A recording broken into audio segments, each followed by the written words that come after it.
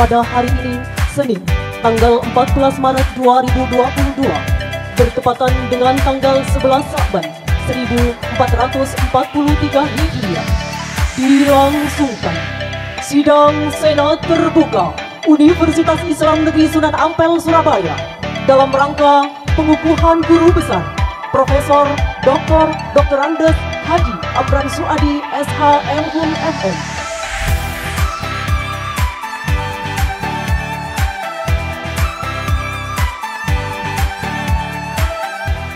terhitung mulai tanggal 1 Desember 2021, dosen tetap, dosen tidak tetap. Diangkat dalam jabatan profesor dalam bidang ilmu perlindungan hak perempuan dan anak dalam peradilan agama Islam. Penyampaian orasi ilmiah. Alhamdulillahi Rabbil Alamin Izinkan saya menyampaikan orasi ilmiah dengan judul Jaminan perlindungan hak-hak perempuan dan anak berbasis interkoneksi sistem. Sebuah pemikiran metabolisme biological justice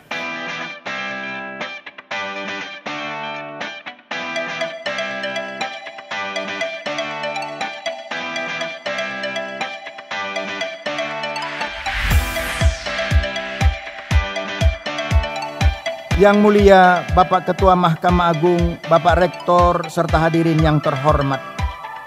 Berdasarkan uraian di atas, dapat ditarik kesimpulan sebagai berikut. Satu, negara diharapkan menginisiasi dan memperkuat komitmen untuk memberikan perlindungan dan jaminan hak-hak perempuan dan anak pasca perceraian. Dua, hakim sebagai penegak hukum haruslah memahami, menerapkan prinsip metabolisme biological justice bagi jaminan perlindungan perempuan dan anak pasca perceraian. Tiga, interkoneksi sistem pelaksanaan putusan pengadilan bagi perlindungan hak-hak perempuan dan anak merupakan sebuah keniscayaan untuk mewujudkan kepastian hukum. Demikianlah gagasan yang dapat saya sampaikan lewat orasi ilmiah ini semoga ada manfaatnya. Amin amin ya rabbal alamin. Dengan memohon ridho Allah Subhanahu wa taala.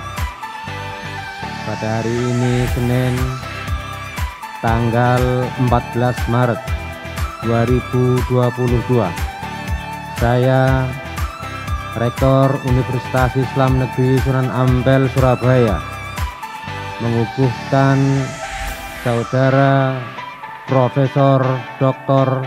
Dr. Andes Haji Amran Suadi SHM HUM MM